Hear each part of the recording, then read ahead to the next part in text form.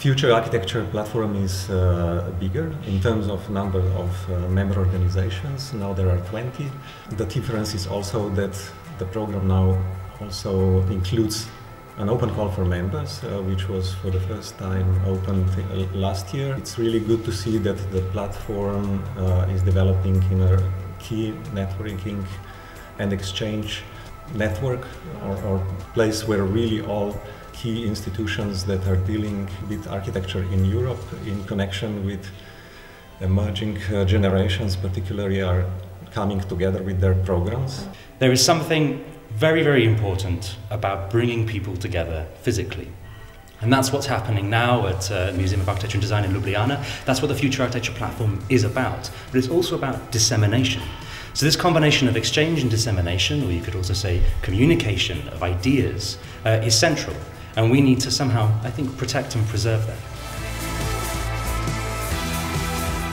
It's interesting to receive this uh, feedback, uh, how important it is that one of the center of the debates about architecture moved from the traditional uh, centers where architecture is debated about uh, uh, from, let's say, centers that run important schools or have important architectural institutions like uh, London, Paris, Berlin, and uh, Eastern Europe in that sense, and, and Southwestern Europe were, were a blank territory in this sense, and Slovenia and Ljubljana is now becoming one of uh, those centers where relevant discussions about architecture are going on. As the youngsters are not maybe published, are not maybe online, it's it's good. This platform is really good to come and meet them, hear them, and then also uh, start uh, the uh, conversation. Uh, one new member every year will respond to the need to use the platform or understand this platform not all, only to, pro, to promote or to support young creatives, but also to create a network in which institutions can work together.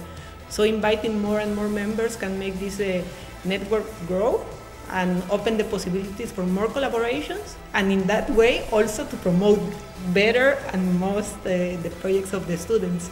And I think the other side of it, um, mm, beside uh, meeting the newcomers, is also the fact that this uh, this member board that we, we were just uh, chatting with, it's it's quite amazing. This is this is I would consider literally uh, Europe's uh, the heart of uh, biennales, architecture centers, awards award members, etc. I went to quite a few different locations. Um, I went to Lisbon, to Kosovo, and also to Graz, and did different types of events and activities there, from uh, exhibitions to workshops, leading workshops, and then also um, doing a lot of sort of talks and panel discussions. Um, and so I feel like I'm, i have quite a good idea about the platform from the participant side, and now I'm getting to learn, uh, getting to know the other side. I used today to kind of ask people and see how they were advertising the event, and I think that's something quite interesting because it's very different. You know, each country kind of has a different strategy, mm-hmm. and I think it reflects in the number and quality of interest that we get. So if that's that's just my personal sort of interest and focus on the advisory board. But of course, together with all the other members, we're discussing broader issues and all, all the different topics that are pertaining to the platform. Anyone who does something interesting in the field of architecture is invited to come and uh, he can participate. Either as an institution, he can become a member, either as a participant uh, he can uh, send his projects, but also if they are not getting actively involved in the first stage, let, that's uh, through present presentations of the selected professionals that make the conference, they can present their work at the architecture fair or they can participate at the short uh, evening presentations the platform.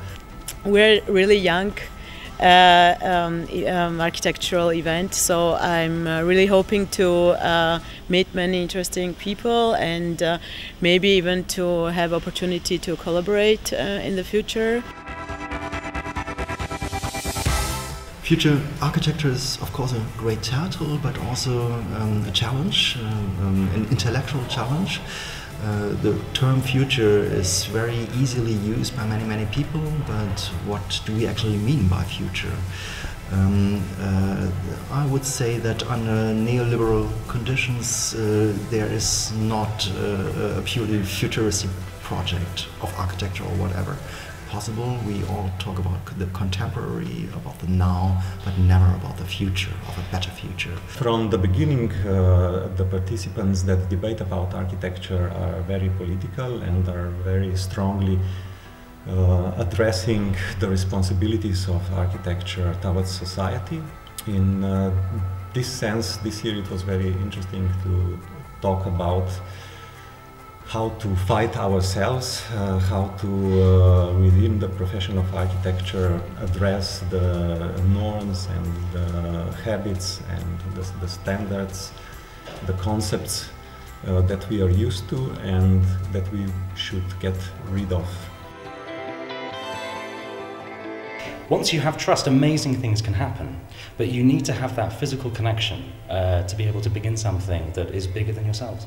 I have uh, not been uh, part or haven't even heard about something similar and something that's fruitful in Europe as the Future Architecture Platform. People have realized that this network is also a, a good platform not only to build or to produce, but also to think really what is what can be this possible future of architecture. It takes courage actually to simply kill something uh, that is on, on your way uh, if you want to move forward.